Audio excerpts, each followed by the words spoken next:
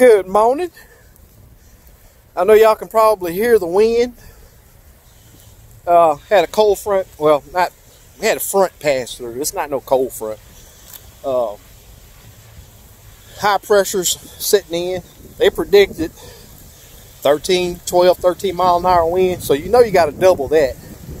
So we're easily 25 miles an hour winds already. Uh, clear skies. Front pass pushed all the clouds out. And uh, pretty daggone windy. Uh, but when you get the chance, you you know what it is. We got to go. So uh, let's do this. Pretty chopped up out there. Pretty chopped up. Got the old dodgel tied off.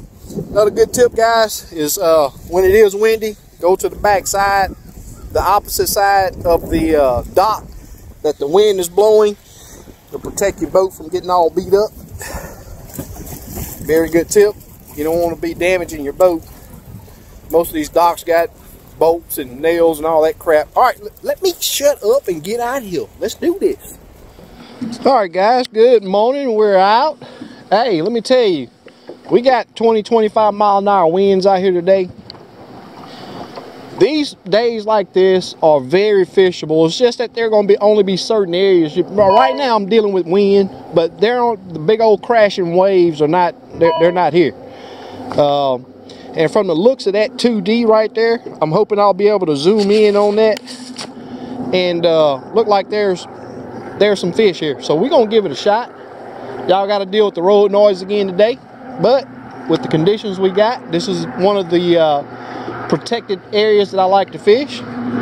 So uh, let's see if we can make this thing happen.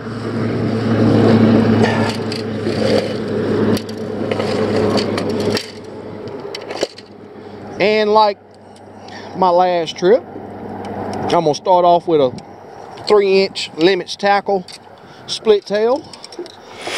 And I was just uh, talking with him yesterday and still didn't ask him what does he call this color. Uh, an excellent bait. Uh, and we're gonna see if we can't make it happen. We're gonna be using, uh, we're gonna see what the fish want. Got some Berkley, Berkeley power bait or crappie nibbles, whichever you prefer. And I'm about out of this slab sauce slab. Uh, we're gonna give this uh, slab sauce another try. I like this bottle here better than the uh, the spray bottles also. And we're gonna have some G sauce, and we're just gonna see what the fish prefer. Um, I know I haven't been talking much about this in in the videos, but it's it's uh seems like uh it's, it's hard to remember to talk about the small things. You know, we all I always talk about the scent and sort of don't uh, remember to talk about it. You know, we get new guys in here and, and they just don't know. So I got to remember to start talking about that. Hey guys, uh, this rod, this Denali Prime, it's a 12 foot. And uh, I talked about a little bit in my last video, but one thing that I did mention is, yes, it's a 12 foot pole, and uh, I'm talking about it it fishes like a 10 foot pole. Light but it's sensitive. And uh, as you've seen and and we'll see hopefully today it, it has that swing in power. So you get on these fish and uh, it has the ability to uh, to get these fish in the boat It's like I was saying earlier, we got a high pressure setting in. So we just have to play around and, and see what these fish are gonna want. Um, my thinking is they're gonna be holding very tight to structure. But we, we're gonna just have to we're gonna just have to figure it out, let the fish tell us what, what it is that they're gonna want and how they want it. And we show them plenty of fish down there. What is it gonna take to make them bite though is the question. Now, we hadn't had any rain, but the water sort of looks stained to me for some reason. Not sure what that's all about. Could be just from the wind. Woo! kind of tough to even uh, hold a rod up. All right, gave it a few minutes with this big bait. We're gonna downsize. Play with some colors.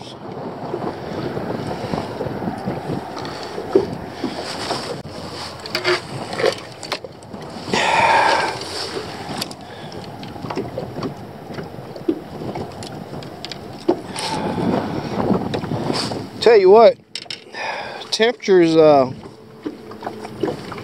65 this morning. But uh, that wind, that daggone wind got it feeling kind of cool out here.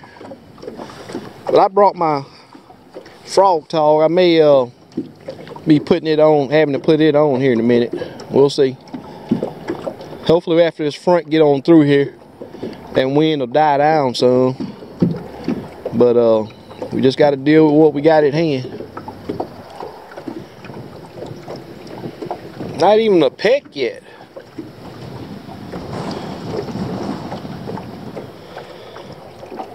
Water temp is at 63.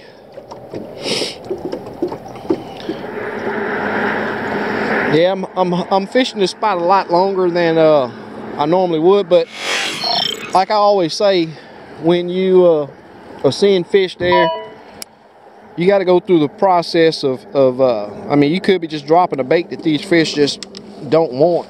You got to go through the process of uh, making sure you making sure you do a few changes. But I'm gonna put a quarter ounce with this wind the way it is. So I'm gonna go with a uh, usually on those real bright days like we, we got right now, a low contrast is uh, a great bait to uh, use.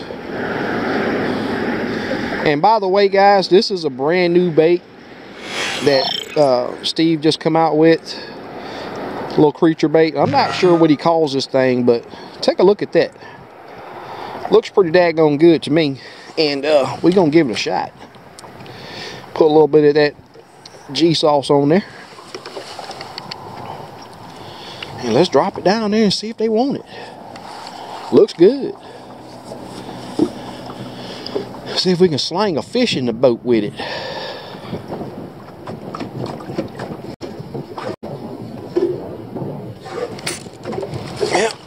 Go. And just a nice little fish. Come down there, buddy. Look at that old creature bait there, y'all. Creature bait deep in there. Hey, these are some little uh, number six hooks, and and uh, these things got swinging power. Uh, they really got some good swinging power.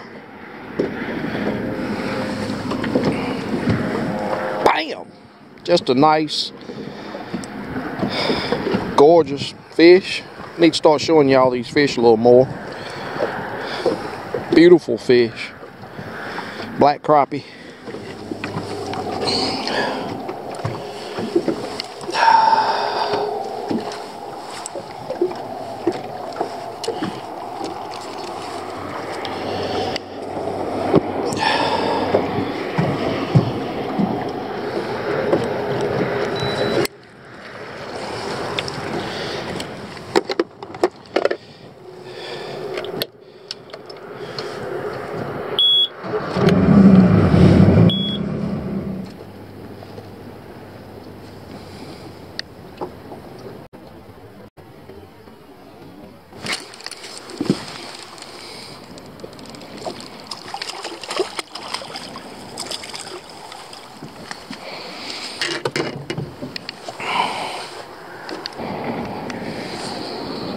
Just a great big old gooder.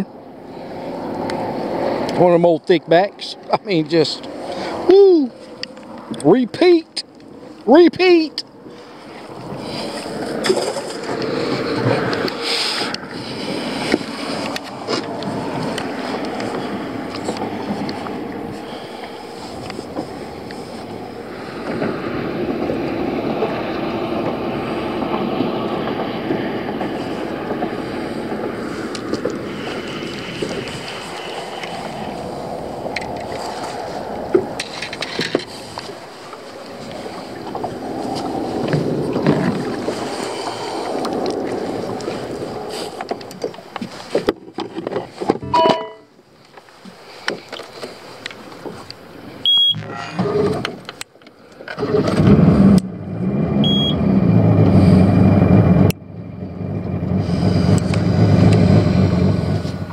All right, found another little protected pocket. We're gonna give it a shot.